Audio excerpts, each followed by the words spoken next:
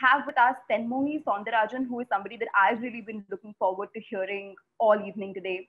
She's the executive director of Equality Labs and a Dalit American artist and technologist.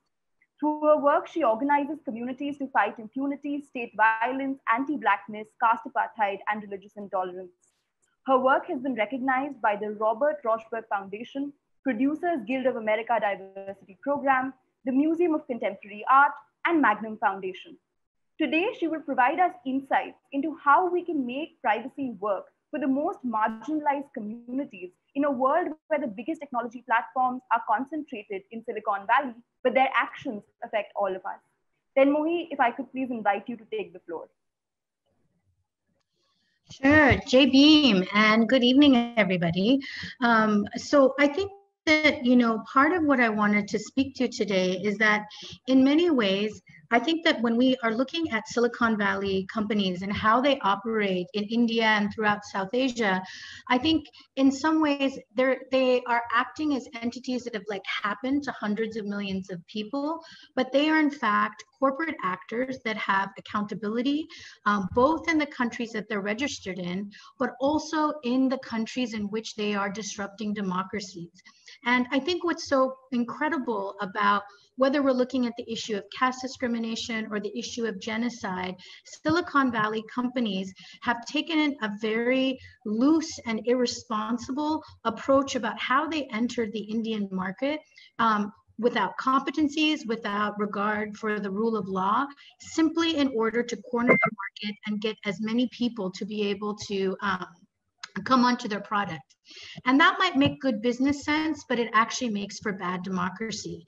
And in particular, the thing that I'm so incensed about is this question of Facebook and what it has done in India. And I think what's really important for people to consider is that this is not just a partisan issue, and we shouldn't be talking about it simply in the realm of political parties. Because the reality is, is that anyone who contributes to genocide should be accountable for it. That includes individuals, that includes states, and it includes organizations, and very critically in this context, corporations.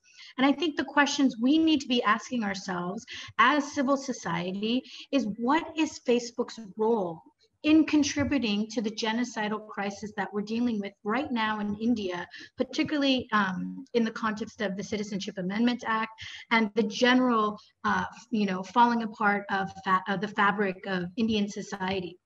And when people are trying to think about, well, how, how long is this problem? When did it all start? And I really want to remind people that, you know, in 2013, 2013, before Modi was elected, there was the Muzaffarnagar riots. And for people that remember those riots, there, you know, there were many that were killed, 50,000 that were rendered homeless.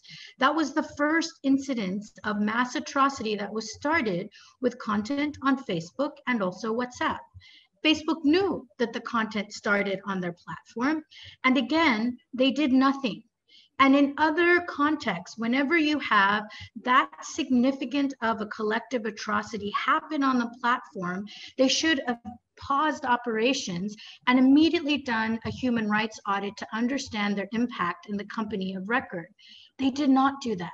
And in fact, instead of not assessing the dangerousness of their operations, they actually went into the business of elections into the Indian market. And to know how partisan that effort was, I think you have to also know who was the person that was responsible for it on the US side. It was this woman named Katie Harbath, who ran Rudy Giuliani's campaign, you know, who's one of Trump's henchmen now um, in New York City. And then she also was the Republican digital strategist for, uh, for three years. So she took a very, they took a very partisan right wing actor in the United States to basically supervise the entry of Facebook into the elections of multiple countries. That includes India, the Philippines, and Germany. And in those countries where Katie did her work, we saw each of those countries go towards the right. India got Modi, Philippines got Duterte, and we saw that in Germany, the rise of the right wing Nazi party, AFD. Again, during this time was also the time that Facebook was also working with Cambridge Analytica.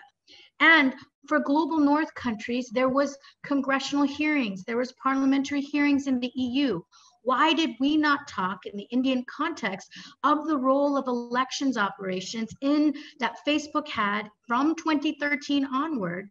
Because again, if we see that severe of an interference and that global north countries are upset about it, why was our country in the Indian context completely silent? That's how long this process has gone. And I think that what's very important when we talk about you know, one of the key figures that's surrounding this debate, Ankhi Das, Ankhi Das was at the core of it. Ankhi Das, who was hired in 2011, was the person who was doing the first Facebook workshops and finding out who should be brought onto the platform first. We have no transparency who, uh, what groups Ankhi Das worked with, and also what was the role of Facebook in the 2013-2014 elections. This is key information we need to have in terms of accountability, because we will get a sense of how much changed in their interference in the Indian election process. Until we get that data, we are all in a black box of Facebook bias, incompetency, and failure of duty of care for our people. And this is fundamentally the thing I want people to lead with is that India didn't just overnight turn into a hotbed of hate speech and genocidal context. It was pushed there by a corporate actor that made money off of genocidal hate speech. And we have a right as a users to address that. Because again, when we think about this timeline, once Modi was in power, the other things that we saw was a general decline of hate speech, right? Uh, general decline of democracy, general polarization of society, and also uh, an inability to actually control hate speech that was actually against the law towards minorities, like the Prevention of Atrocity Act, that became normalized because it was so often to see caste slurs or Muslim slurs or slurs against women. Keep in mind that the hashtag prostitute originated on Facebook and Twitter and was never removed, even though it led to the murder of Gauri Lankesh and so many other journalists that have been targeted on this platform simply because they are doing their jobs to report. So also what's very critical is that from 2016 to 2017 was the Myanmar genocide. And that's what's very important is that while Indian democracy was declining, Facebook already created the conditions for genocide in another country where Rohingya, again, were called cockroaches and termites. They were banned and faced lots of, you know, uh, physical assault and violence, including economic boycotts. They were also eventually denaturalized and revoked their citizenship. And then from there, put into camps and eventually rendered stateless and leading to this very violent, um, you know, uh, process of diasporic um, refugeeship. And the thing that was so critical is understanding what was Facebook's role. Facebook's role in that context was one, they allowed genocidal hate speech without any accountability.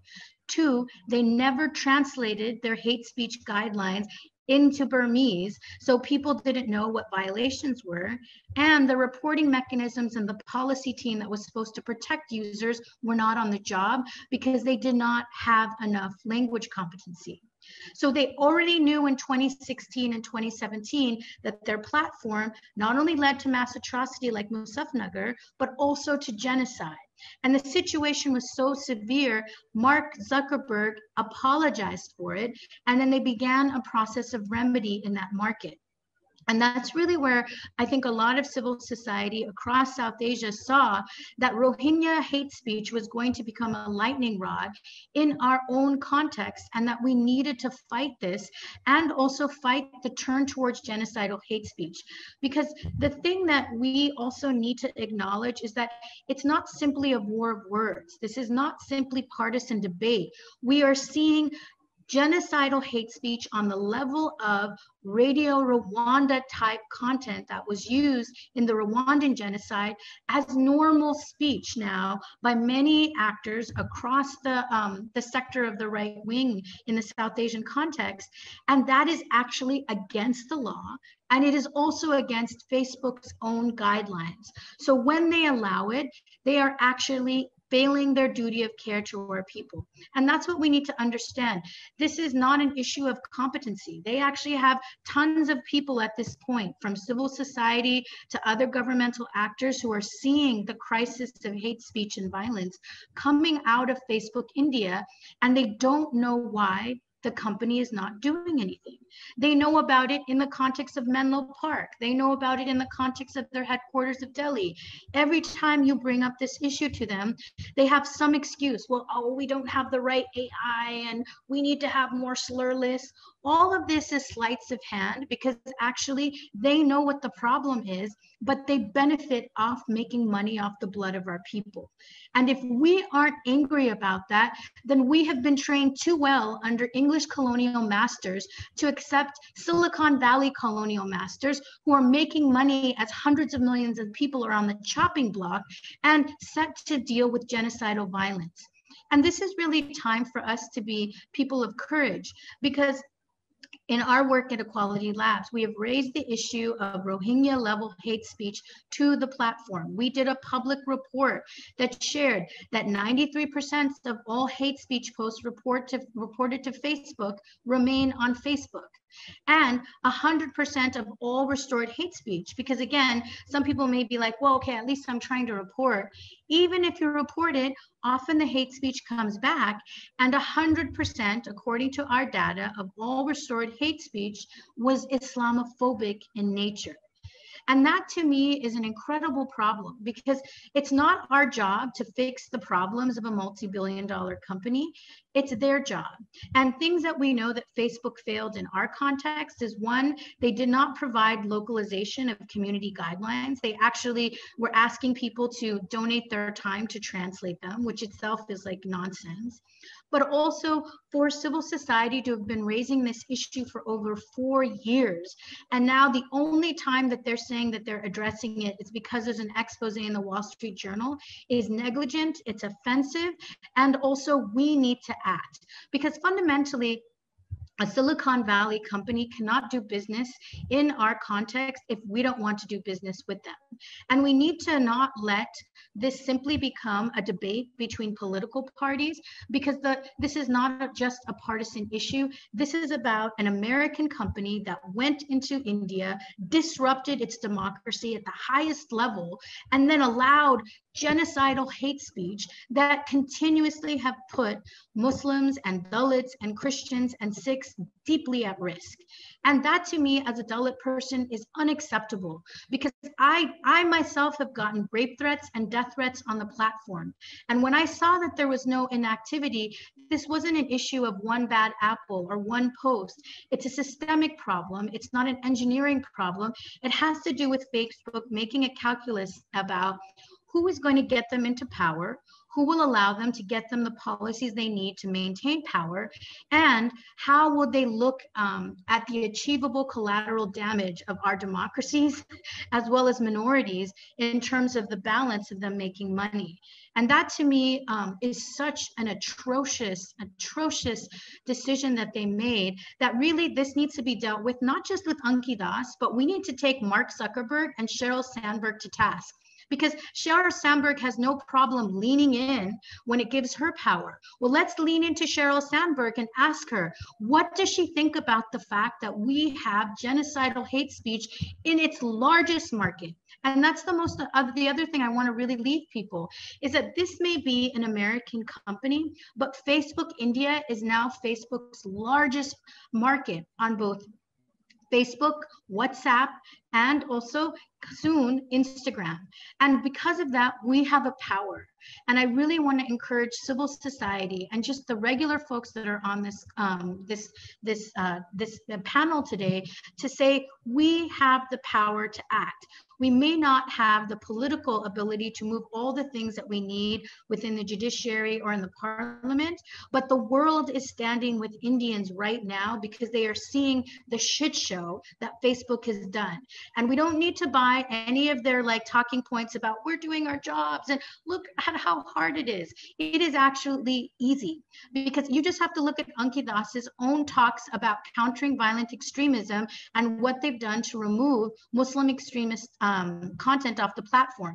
If you contrast her statements there about how easy that is and how many pieces of content and all the algorithms and things that they built, you just have to go back to Ankhi. Well, Ankhi, you built this for, you know, these extremists. Are we really looking at all of the right-wing actors we need to be looking at in the Indian context? And you know what you'll hear? You will hear crickets Because again, the question here is not a technical failure, it's not a policy failure, it's a failure of political bias. And that requires us to really think about how do we look at this not as an issue of simply policy, but really one of power building.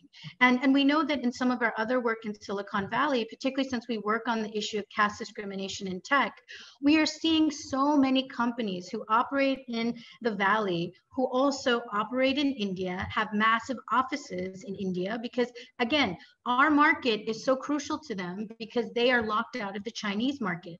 So the future of their companies is in India and in South Asia. One in four people in the world are South Asian, one in six people in the world are Indian. So if we think that the power lies in California, then that is the limit of our own radical imagination. We have the power here, and we need to start holding these companies accountable as opposed to imagining them as our techno utopian overlords that are going to give us the blueprint of the future. The blueprint of our future around the issues of privacy, around the issues of tech equity, will lie with civil society and with normal people like you and me. And we have a right to be able to ground that in human rights, not their bottom line. And that's why it's so critical for us to unite and really use this moment to hold Facebook to task and also build power for all of us, but most particularly for caste oppressed and religious minorities in our context. Because again, we are in a genocidal moment.